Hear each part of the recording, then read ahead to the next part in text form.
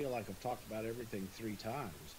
Uh, but you know, it's scary. Uh, so we had dinner last night with a friend of uh, my daughter's, and she asked me, "So, how long have you been doing what you do?"